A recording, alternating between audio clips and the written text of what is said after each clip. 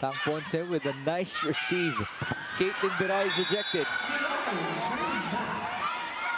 A great adjustment this of uh, Caitlin Viray. Well, that's one woman that we missed, Graze Bombita. Obviously, let's see if Galeries Tower can be consistent or can they actually play better as we go along.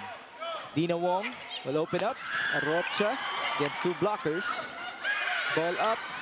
Free ball. Ponce. Wong. Back row hit. Sisi Rondina. Rap Rap putting it up. Back set.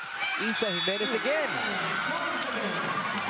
Oh, a sport attack. Are really avoiding the blockers. as we move forward. Caitlin Viray, 11 points to her name. Katindig with the receive. Jimenez, ball way up high. Returned to Galeries Tower. They send it to Graze. Here's Deanna. On to Regine. Nice net defense by the High Risers. Oh, Jimenez has been uh, starting in this set and already contributing a lot, not just offensively but defensively as well as uh, you see that kill block. Regine sending it to Juliet Katindig. Here's Graze. Bombita again with a nice hit. Power attacker uses a lot of power.